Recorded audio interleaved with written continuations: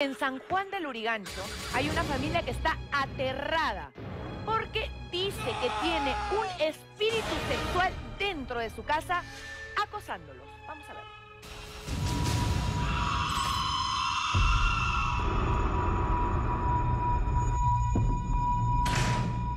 Parecen estar más presentes de lo que creemos. Hace unas semanas les mostramos la historia de una señorita atacada por un incubus en Miraflores. Normalmente se escucha en mi cuarto, que duermo con mi hermana, se escuchan muchos sonidos de la puerta, de la lavadora. Incluso hace una semana eh, me vine a las 5 de la tarde a peinarme para irme a la universidad. Yo estaba que me peinaba en el espejo y de pronto sentí que el jabón lo cogieron y lo tiraron. Ahora, otra mujer reporta el mismo hecho, pero en San Juan del Urigancho. Hace como ocho años yo estaba viviendo con el papá de mis hijos, arriba en la casa de mi mamá, en el tercer piso, y sentí de que una persona se sintió encima mío para hacer como relaciones. Pero yo pensaba que era mi pareja. Cuando volteó, el papá de mis hijos estaba durmiendo. ¿De alguna forma podrías decirnos si era una persona de contextura gruesa, delgada? Era el tamaño del papá de mis hijos. Esta casa parece que no solo está habitada por mortales, sino también por seres del bajo astral. Hoy en el sexto día conoceremos la historia de una familia en San Juan del Urigancho que asegura que es atacada por espíritus maléficos. Incluso uno de los familiares habría sido poseído por un demonio, por un demonio, por un demonio. Nosotros llegamos hasta esta vivienda en San Juan del Urigancho, alertados primero por una supuesta posesión demoníaca en una de sus integrantes. Sin embargo, a nuestra llegada desistió de brindar su testimonio y participar en esta nota.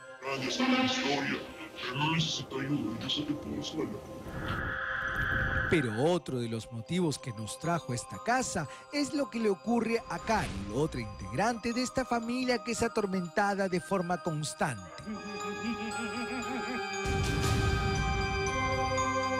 Hace como cinco días, seis días nomás, un arañón acá, en el- la parte de la barriga. O tú te echaste, tú te acostaste y estabas normal. Normal, al día siguiente que me voy a bañar, vi que tenía un arañón. Pero más cosas extrañas que podrían hacernos pensar que esta casa es habitada por espíritus malignos siguen ocurriendo sobre todo con Carol. Hace como cuatro días, creo, cuatro o cinco días estamos acá. Yo estaba tomando desayuno con mi mamá para irme a trabajar y la puerta la sentimos que la abrieron, que la puerta estaba cerrada, de afuera. La de afuera. La de afuera, la sentimos que la abrieron. Y mi mamá dijo, ¿quién ha entrado? Dijo. Me paro, no había nadie, estaba cerrada la puerta. Lo que ocurriría más adelante en esta casa frente a nuestras cámaras lo dejará impactado, pero eso se lo mostramos en la segunda parte de esta nota. Fuera de aquí, fuera de aquí, te ordeno en el nombre de Dios Padre Todopoderoso que salgas de aquí.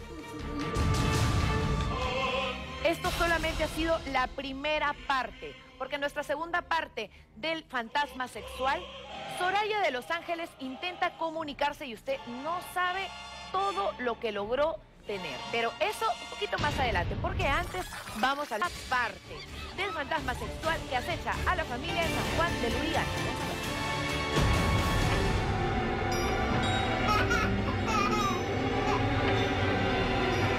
Cada vez son más los testimonios y evidencias sobre ataques de entes malignos, espíritus del bajo astral que no descansan en paz. Fuimos alertados de una posible posesión demoníaca y la presencia de incubos en una casa en San Juan del Urigancho, hasta donde llegamos junto a Soraya de Los Ángeles para constatar qué es lo que ocurre con esta familia.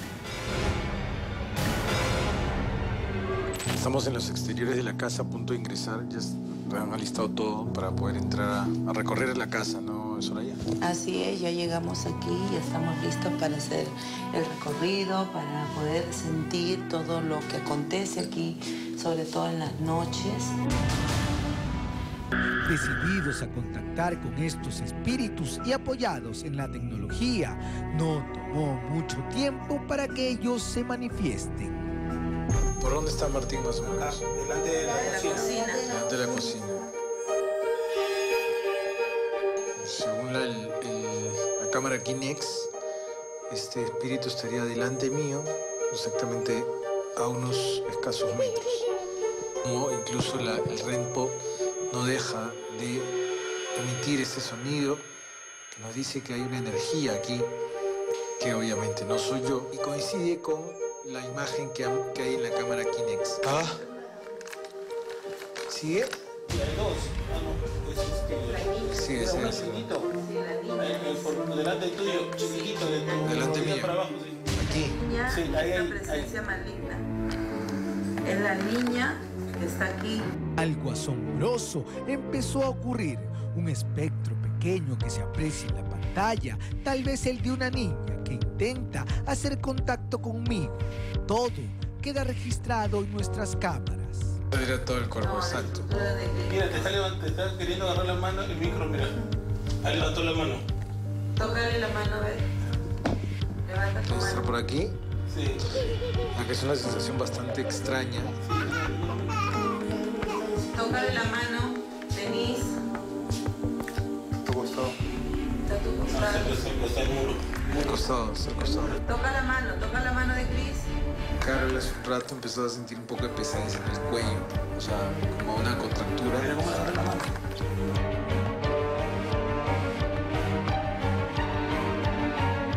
Yo estaba a punto de hacer los estanques, siempre lo hacemos para presentar la nota, por eso me coloqué ahí al fondo, que es el punto donde Soraya dice que se siente la mayor carga de energía y donde estaría esa entidad.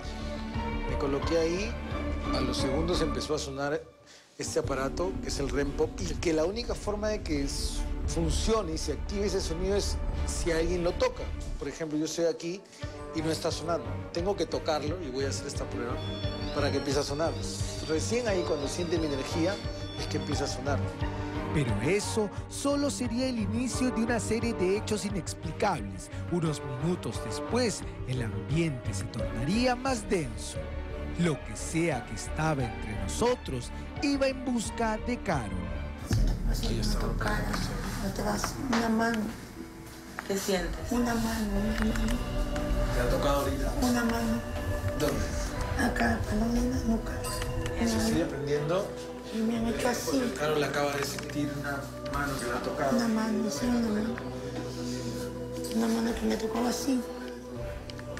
Te vas a ir al lugar donde te corresponde, ser inmundo, el bajo astral. Has venido a lastimar a esta familia, pero te vas a ir.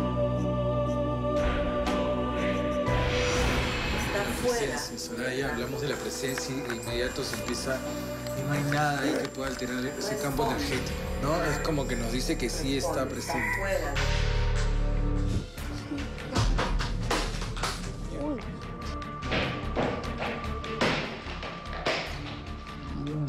Están pasando cosas muy bien. Sí, acaban de romper el, el portal box, ha caído. Esta presencia está aquí, por eso que ella la puede sentir.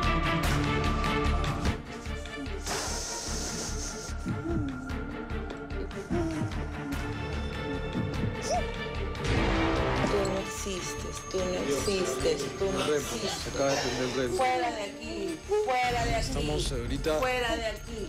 sintiendo Fuera de aquí, fuera de aquí. Tú no existes, tú no existes, tú no existes. Fuera de aquí, te ordeno en el nombre de Dios Padre Todopoderoso que salgas de aquí. Dios es amor, Dios es mi Señor, Dios es mi Señor. Repite conmigo, Carol, repite conmigo, Dios es mi Señor, Dios es mi Señor, Dios es mi Señor. Repite conmigo, repite conmigo, bótalo, expulsa todo lo negativo de ti. Dame tu nombre, Carol. Repíteme tu nombre. Dame tu nombre, Carol. Carol, mírame, mírame, mírame. Mírame. Dime, Dios es mi Señor. Te estoy liberando nombre de Dios Padre Todopoderoso. Corto y libero. No se quiere ir. Corto y libero. Se va a ir. No se quiere ir. Corto y libero. Corto y libero. Corto y libero. Dios es mi Señor. Ya se fue, mi amor. Ya se fue. Corto y libero. ¿Qué sientes? ¿Sientes que hay alguien aquí? Frío, frío, frío. Inhala. ¿Sientes la presencia de alguien? Inhala. Tómatelo. Exhala. Ya. mm, No, también me siento nerviosa con escalofrío. Había una persona que quiere que, que no, que no, no estén acá, ninguno de ustedes. Quiere que nos vayamos. Quieren que se vayan. O sea, sentía que como si estuvieran atrás de ustedes. ¿Pero es un hombre? Sí, es una persona. Mira, nuevamente. Estamos hablando, empezamos a hablar.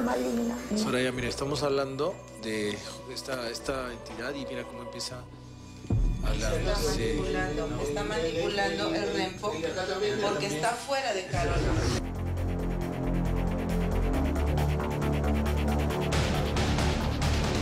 Muchas interpretaciones pueden haber sobre lo que acaba de ver.